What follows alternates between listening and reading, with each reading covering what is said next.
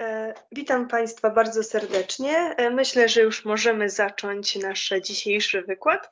E, ja nazywam się Oliwia Olęcka i jestem zastępcą przewodniczącej Studenckiego Koła Kryminologicznego Causa Mali, działającego przy Wyższej Szkole Policji w Szczytnie. Dzisiaj spotykamy się już na kolejnym spotkaniu z seryjnymi zabójcami. Dzisiaj przedstawię Państwu mm, sylwetkę słowackiego kanibala Mateja e, Córko, e, nasza członkini Marta Rudzińska. Życzę Państwu udanego odbioru. Myślę, że, że tutaj członkini Marta no na pewno bardzo, bardzo ciekawie przedstawi tutaj tę postać, więc życzę miłego odbioru i oddaję już głos Marcie.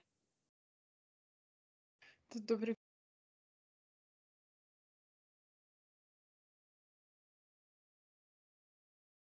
Najpierw przedstawię dzieciństwo sprawcy. Urodził się on w 1968 roku na terenie byłej Czechosłowacji. Jego dzieciństwo nie odbiegało od normy, poza detalami, jak to, że urodził się przez cesarskie cięcie i jego rodzice się e, rozwodzili. Jednak we wczesnym dzieciństwie nie zauważono zbyt wielu anomalii.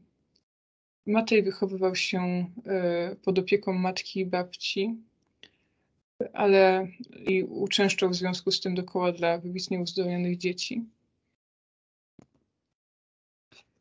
W młodości jego zachowanie zaczęło dyskretnie odbiegać od normy.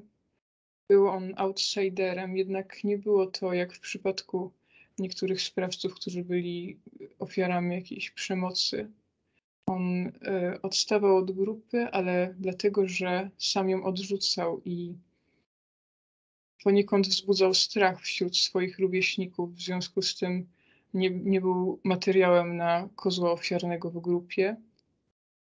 I swój czas wolny poświęcał głównie na hobby.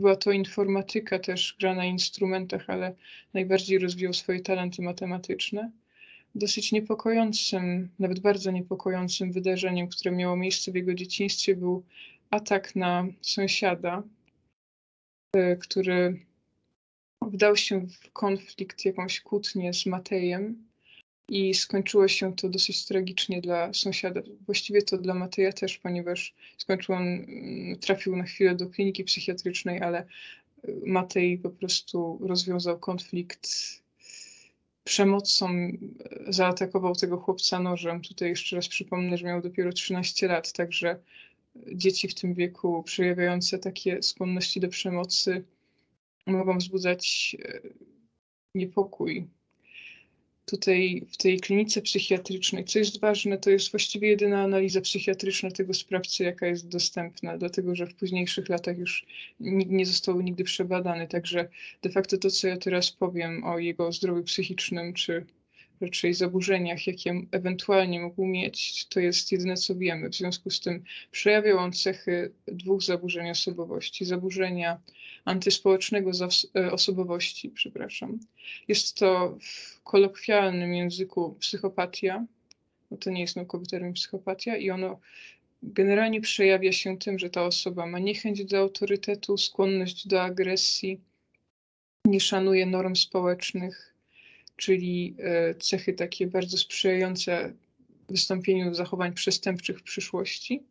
A kolejnym zaburzeniem osobowości było zaburzenie schizoidalne osobowości. Ono jest, nazwa jego może być poniekąd myląca, dlatego że skojarzy się ze schizofrenią jego nazwa, ale nie ma absolutnie z nią nic wspólnego.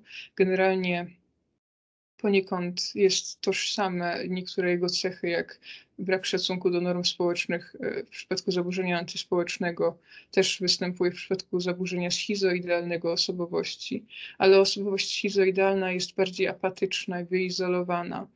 Co ciekawe, w przypadku Mateja Turko dokładnie ten sam, to samo zaburzenie osobowości, czyli zaburzenie schizoidalne e, zostało zdiagnozowane u Armina Mejwesa, czyli sprawcy, który był bardzo podobny, można powiedzieć, że identyczny modus operandi u niego wystąpił i e, zresztą do tego przejdę w dalszej części wykładu. W każdym razie zaburzenie schizoidalne osobowości mm, to są osoby, które są wyizolowane, ale i nie czują z tego powodu e, braku, nie potrzebują relacji interpersonalnych. Mm, tutaj e, mowa jest o tym, kiedy po ataku został właśnie w szpitalu psychiatrycznym w Koszycach, to, mm, to, są, to jest odbicie tego, co on po prostu odpowiedź na jego atak nożem i w związku z tym mamy tą diagnozę. Prawdopodobnie gdyby nie to, nie dowiedzielibyśmy się zbyt wiele o jego psychice. W dorosłym życiu też jego po tym incydencie w szpitalu psychiatrycznym początkowo nie przejawiał żadnych e, patologii, poza tym, że jego charakter był raczej, mówiąc kolokwialnie, specyficzny. Tutaj bardzo na jego zachowanie miały wpływ te zaburzenia osobowości. Też osobowość schizoidalna może się przejawiać obsesyjnymi zainteresowaniami, na przykład na temat polityki, porządku, regulaminów. I to się bardzo odbijało na jego życie, zwłaszcza po tym, jak został um, pobrany pobór do wojska, miał miejsce i on e, w tej armii był niezbyt lubiany przez swoich kolegów, dlatego że donosił na nich obsesyjnie, troszczył się o różne regulaminy, generalnie nie chciał nawiązywać relacji przyjacielskich z kimkolwiek. W związku z tym w niektórych źródłach autorzy wchodzą w taką polemikę, że prawdopodobnie jego odejście z tego wojska było ulgą dla jego towarzyszy. O żonie, y, o przepraszam, o rodzinie Mateja niewiele wiadomo. Wiadomo, że miał córkę i żonę, choć niewiele źródła mówią na ten temat i prawdopodobnie jego rodzina po prostu nie chciała być powiązana z tą sprawą i też nie udzielała się specjalnie w mediach, co jest zrozumiałe, zwłaszcza e, po tym, jak bardziej przedstawię to, jaki charakter miała ta sprawa. No i też co do tego jego, jego życia rodzinnego. Generalnie osoby z antyspołecznym zaburzeniem osobowości mają taką skłonność do tego, żeby tworzyć przelotne związki, płytkie związki, w ogóle nie angażować się emocjonalnie, a osoby schizoidalne zazwyczaj są samotne, więc to jest takie dosyć zaskakujące, że on stworzył tą rodzinę, ponieważ podobni sprawcy rzadko się wiążą. Na przykład Armin Mavis był całe życie samotny, to właśnie ten podobny sprawca, o którym dalej będzie tutaj dochodzimy do bardzo ważnego punktu w jego życiu i to jest bardzo złożony motyw, ponieważ jak wspominałam, jego dzieciństwo, jego młodość, to jak rozwijał się jego umysł jest poniekąd zagadką. I można na niego patrzeć przez pryzmat innych sprawców przejawiających takich, takie skłonności, jak na przykład Armin Meiwes czy Issei Sagawa to są osoby, u których we wczesnym dzieciństwie rozwinęła się taka kanibalistyczna żądza, tak to nazwijmy. Mm. No, mowa też tutaj jest o fetyszu, woraryfilii, czyli e, czerpania satysfakcji seksualnej z pożerania, aczkolwiek ci sprawcy postrzegają to też w inny sposób. Na przykład ten Armin Meiwes nawet na bardziej duchowe argumenty się powoływał, by usprawiedliwić swoje czyny Mianowicie marzył on o jakimś pojednaniu z ofiarą poprzez kanibalizm. Nie wiadomo, czy tak było w przypadku Mateja Córka, ale co warto zaznaczyć, on nie wiadomo, kiedy pojawiła się u niego ta żądza, kiedy to się rozwinęło w jego psychice i jest, nie jest to prawdopodobne wysoce, że on rozwinął to nagle w wieku 40 lat, tylko prawdopodobnie miał te skłonności od dzieciństwa. Też zauważono w tym szpitalu psychiatrycznym, czego wcześniej nie wspomniałam, że on przejawiał e, bardzo duże zainteresowanie śmiercią. To tutaj czyni go podobnym do innego sprawcy też kanibala, Nicolasa Klo, który jako dziecko doświadczył śmierci swojego dziadka i od tego czasu miał obsesję na punkcie śmierci. Więc można wysnuwać tego typu podejrzenia. Natomiast, żeby postawić jakieś fakty jak dokładnie rozwijała się jego psychika, czy aberracja od normy, to jest, są to pewnego rodzaju domysły. Matej Córko postanowił, że e, zwabi ofiarę, która będzie chciała się mu poddać, chciała spełnić jego żądzę i pragnął użyć w tym celu swoich umiejętności z dziedziny IT. Chciał po prostu znaleźć chętną ofiarę, którą mógłby zabić i zjeść. I poszukiwał tych ofiar na forach ze, dla osób ze skłonnościami samobójczymi, co jest bardzo istotne i to też sprawia, że jest on podobny do Armina Maybesa, jest to, że jemu zależało na zgodzie tej osoby. Miał wręcz e, obsesję na punkcie tej zgody, co też widać w jego korespondencji mailowej z ofiarami, dlatego że wciąż pytał tych osób, czy, czy na pewno chcą, żeby odebrały im życie. I tutaj są, jest więcej detali na temat tego, w jaki sposób dokonywał tych zbrodni, zbrodni też zaplanowanych e, dokładnie.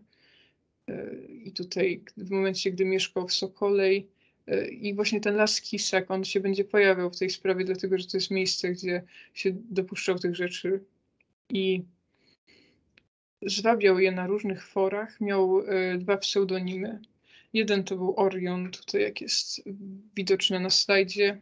Jako ciekawostka, Orion jest synem Posej- z mitologii greckiej, jest to syn Posejdona i Euriele. Był on myśliwym, jakże wymowne. No i kanibim, co prawdopodobnie jest jakąś wariacją na punkcie, znaczy wariacją słowa kanibal. I szukał on osób suicydalnych. Podchodził do nich z takiej pozycji autorytetu, który oferuje śmierć. Tak można ironizować, że bycie zamordowanym ma tę zaletę, że przynajmniej nie umiera się w samotności. To oczywiście jest okrutne, tylko okrutne stwierdzenie, ale sprawiał wrażenie kogoś troskliwego, uwodził ich, te osoby w korespondencji. Stąd też one, bardzo im zależało na prywatności, na zachowaniu, na ukryciu się przed policją. Hmm. Następnie, gdy już udało mu się zwabić osobę do swojego miejsca w las, lesie Kiszak, czyli tego miejsca zbrodni, um, odurzał je narkotykami. Co do tych narko narkotyków, to można polemizować, czy rzeczywiście tak było, ponieważ później znaleziono jedynie alkohol, także to może była tylko jego taki blef, że ma do nich dostęp. Następnie wbijał im nóż w serce i konserwował te ciała za pomocą pieprzu. Mm, generalnie niewiele, się, niewiele jest udostępnionych konwersacji co do tych detali, jak on dokonywał dokładnie tych zbrodni. W każdym razie one istnieją i być może dowiemy się o, o tym więcej, ale to dlaczego to rozwinę w, dalszym, w dalszej części wykładu. No i następnie zabierał części ciał do swojego domu. E, też chował części tych ciał. I tutaj jest właśnie bardzo duży dylemat co do tego, gdzie dokładnie, ponieważ są dwie wersje, mianowicie, że ciała po prostu znaleziono na jego posesji, a druga jest taka, że miały zaszyfrowane lokalizacje komputerze które udało się policji sforsować po prostu jego zabezpieczenia i znaleźć te lokalizacje. I tutaj źródła są sprzeczne na ten temat, także podaję obydwie wersje i, że tak powiem, jak powiedziałam, jeszcze rozwinę temat, kiedy możemy się więcej dowiedzieć o tej sprawie. No i na jego posesji znaleziono dwa ciała, czyli zaginionej 23 czerwca 2010 roku 30-letniej Eleny Gudiakowej, E, z miejscowości Orawskie Wesele oraz zaginionej 3 września 2010 roku 2000 e, Lucy Ucharowej Szcin. Tu jest e, na zdjęciu widzimy Mateja. On był myśliwym, to też jest zdjęcie z jednego z polowań. Nie widać tego dokładnie, ale tam są otaczają go mężczyźni ubrani w moro, także i też ma jakiś sprzęt ze sobą myśliwski. Tu jest zdjęcie jego domu. E, to jest zdjęcie, mm, ono może być powiązane z innymi sprawami, o które jest posądzany zwłok, dlatego że tutaj widzimy e, taśmę po włosku. W każdym razie ono się pojawia w materiałach dotyczących jego, także, ale tutaj trzeba zaznaczyć, że to nie jest Słowacja, to e, miejsce zbrodni ze zdjęcia. tu są rzeczy, które miał ze sobą, broń posiadał legalnie. To są dowody rzeczowe. Jego strzelba. On posiadał cztery strzelby, wszystkie też legalnie, jak wspominałam, że zajmował się też polowaniem. Pierwsza ofiara, e, Elena Gudiakowa. O niej niezbyt dużo wiadomo. To jest właściwie jedyne dostępne jej zdjęcie w internecie. Znalazłam na jej temat słowacki dokument, który bardzo w taki sposób, no jakby to powiedzieć, romantyczny, można rzec, ale niezbyt e, wyczerpujący temat przedstawia jej postać, gdzie skupia się raczej na tym, jakie były jej psychiczne rozterki. Mianowicie chciała być wolna jak motyl. To, to nawiązanie do motyla pojawia się na jednym z forów dla samobójców, kiedy ona opisuje swój stan psychiczny. Też bardzo czuła się odrzucona przez społeczeństwo, czuła się oszukiwana przez społeczeństwo, chciała uciekać. E, to też właśnie ta izolacja, ten smutek doprowadziło ją do takich e, czynów.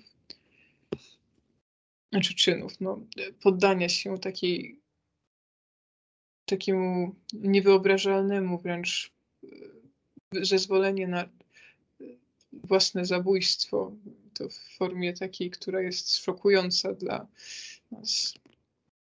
Tu jest profil jej na tym forum dla samobójców który było bardzo trudno znaleźć. Tu, jak widać, jej nick. Mm. Tu są medialne, jak zaginęła po prostu informacje o niej, opisane jej wiek, wzrost. Następna ofiara Lucia Uchnarowa. Mm, tutaj są przetłumaczone fragmenty y, z słowackich gazet i właśnie y, relacja z jej pogrzebu, mianowicie, że wszystkie, że ani razu nie zostało wspomniane o tym, w jaki sposób umarła. Podejrzewam, że dla jej rodziny był to szok. Y, jest tu dokładnie też opisany w y, jej los, mianowicie to, jak przez media podają, jak spotykała się z Matejem i jej działanie w internecie. Mm, Lucia, podobnie zresztą jak Elena, miała skłonności samobójcze i miała je też nawet w pewien sposób bardziej zaawansowane od Eleny, dlatego że ona już raz próbowała się targnąć na swoje życie, y, które zostało odratowane.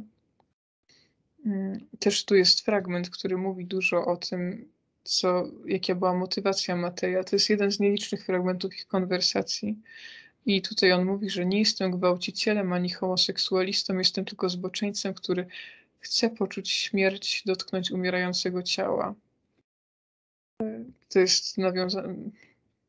No, niezmiernie jest to szkoda, że niezbyt wiele wiadomo o jego psychice, gdyż zdaje się ona być fascynującym przypadkiem klinicznym.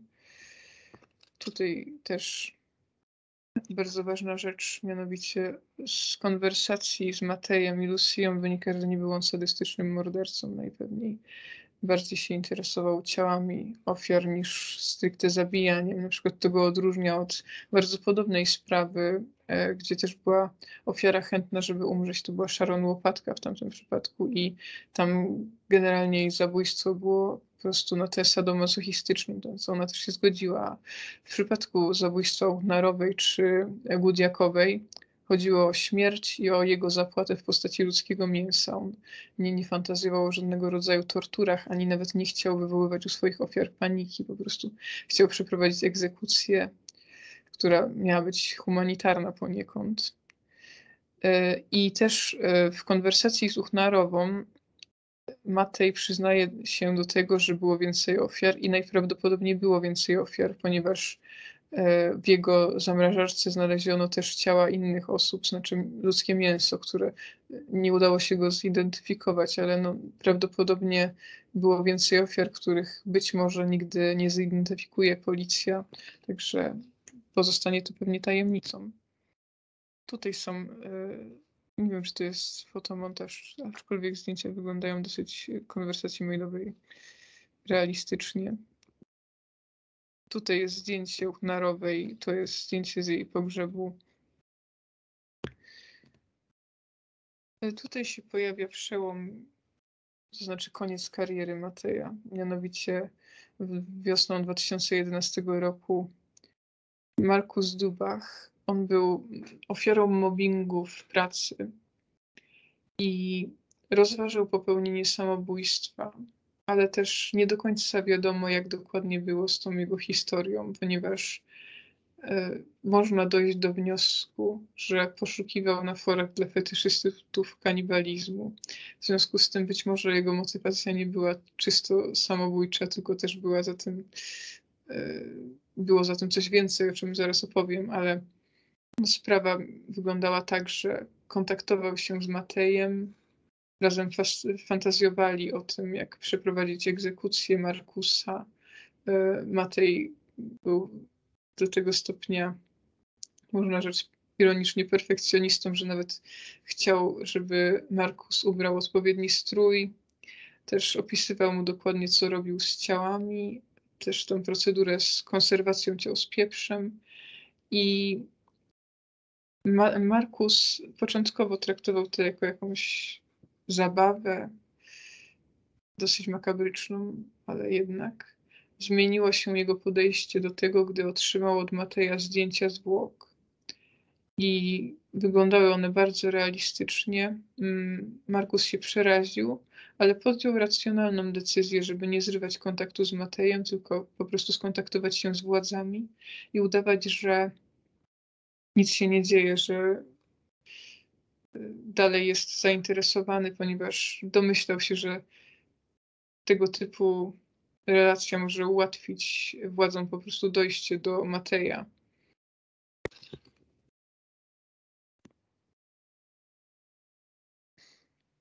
I tutaj jest interesująca rzecz, mianowicie słowackie władze przypuszczały, że Matej robi coś nielegalnego, jednak brakowało im dowodów.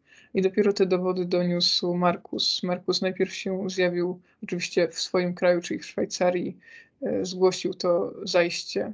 Został wyśmiany, jak zresztą można przypuszczać, ponieważ rzadko kiedy takie sprawy się zdarzają, to e, większość ludzi postrzega tego typu sprawy jako element świata takiego z pogranicza fikcji, że bardziej filmy na podstawie powieści Tomasa Harrisa i tak dalej, a nie fakty. Ale jeżeli dostępne są dowody w postaci zdjęć, to jest to wyznacznik tego, że jednak warto się tą sprawą zainteresować i stąd też skomunikowała się władze szwajcarskie z władzami Słowacji. I postanowiono zrobić pewnego rodzaju pułapkę na Mateja, mianowicie agent y, służb słowackich wcielił się, y, przebrał się po prostu za, za y, Markusa, dokładnie ubrał ten strój, który Matej sobie wymarzył i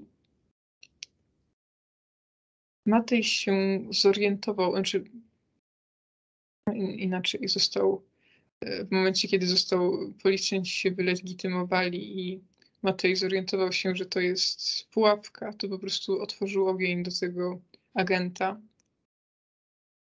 Podejrzewam, że czuł się zdradzony po prostu, stąd ta pełna furii reakcja i w odpowiedzi został praktycznie rozstrzelany przez snajpera, który był ukryty e, on po prostu w ramach tej zasadzki też był obserwowany. I potem jak został już postrzelony i jego rzeczy też trafiły do policji. On oczywiście, zarówno on, jak i ten postrzelony agent trafili do szpitala, ale yy, przeszukano tam jego rzeczy i zaraz na następnym slajdzie będzie co znaleziono. Też po części tam pojawiły się też te różne rzeczy, które on przygotował. Między innymi tam była lina też i e, ten pieprz nieszczęsny, o którym on tam często wspominał, e, noże. No po tym też, jak został postrzelony, 48 godzin trwało jego życie, raczej walka lekarzy o to, żeby on przeżył Matej. I nie udało się go odratować, co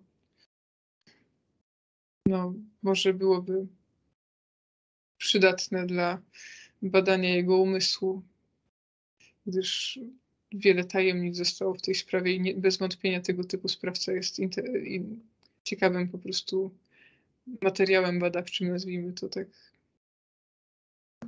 okrutnie też trochę. Agent natomiast e, przeżył w ten postrzał.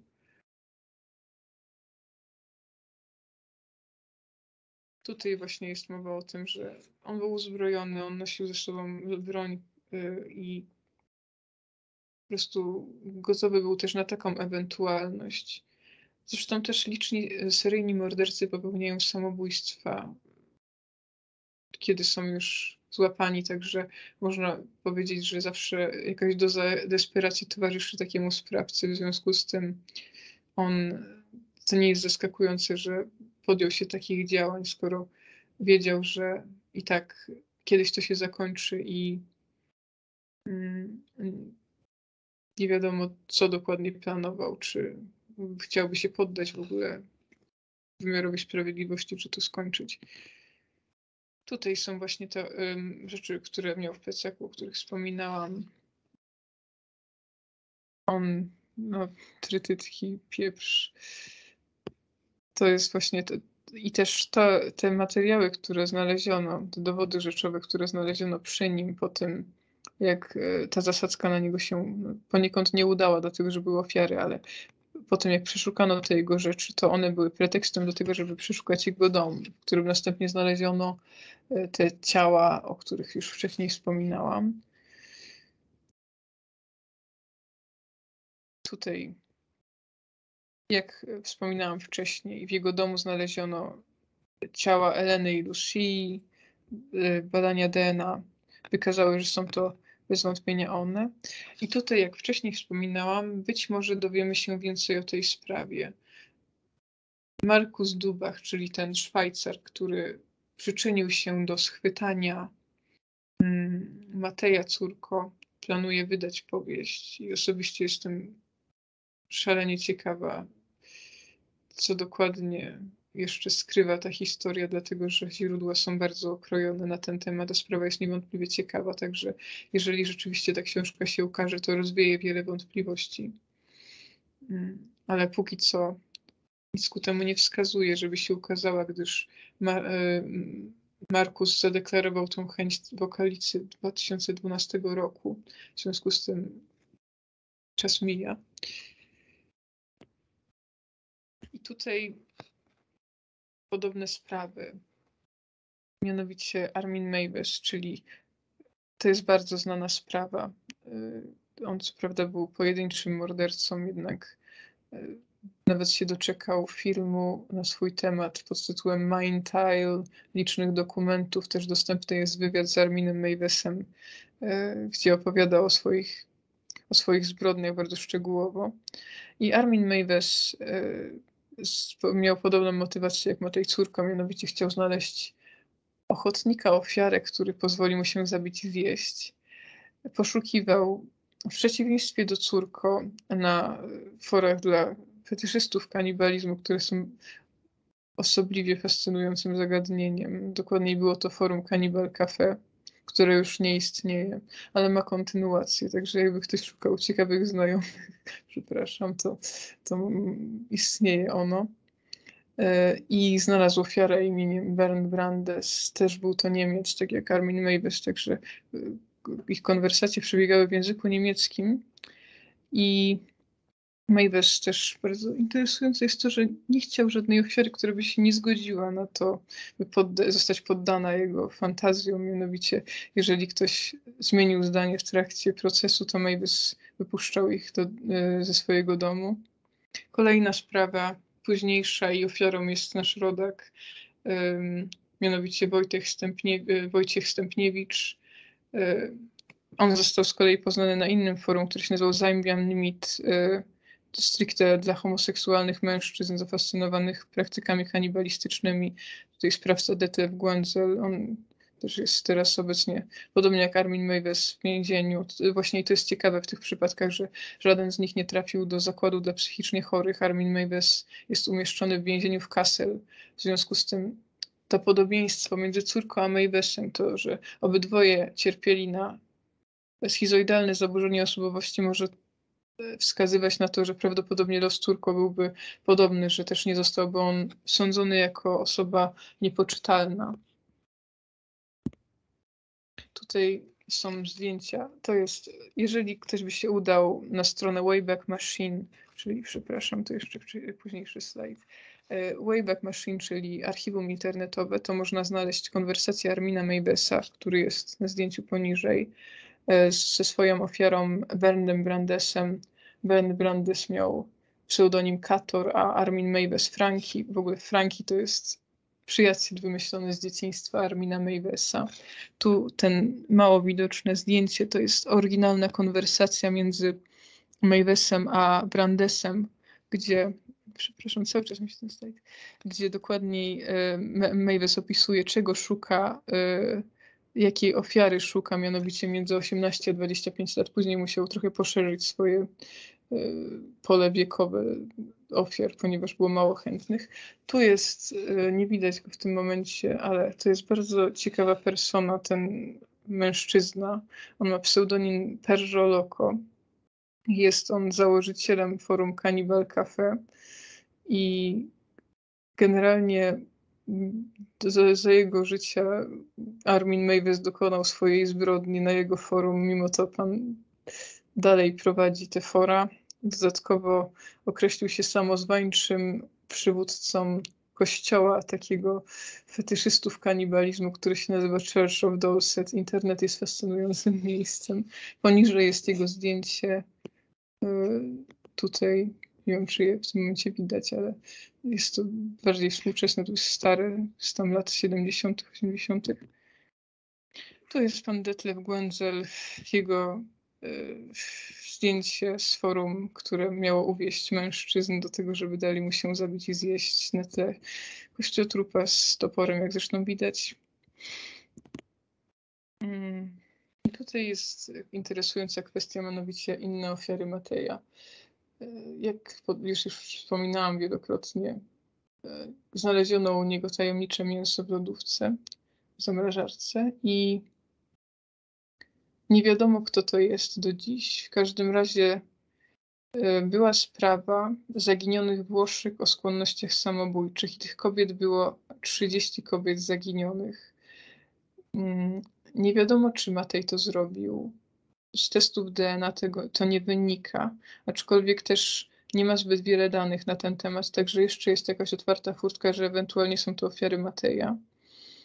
Mm, Matej, jak dowodzi tego sprawa Markusa, był otwarty na to, żeby przyjechały do niego ofiary z całego świata, ponieważ Szwajcaria, to czemu nie Włochy, więc to, że tam źródła wykluczają to, że Matej był kiedykolwiek we Włoszech, jakby nie wyklucza tego, że mógł zwabić kogoś z Włoch. Poza tym jego modus operandi zakładał, że to ofiara przyjdzie do niego, nie na odwrót. Jego proceder wymagał domu miejsca. Także wszystko jest, jakby ten motyw Włoszech jest otwarty nadal. Dziękuję za uwagę. Jeśli są jakieś pytania, to bardzo chętnie odpowiem.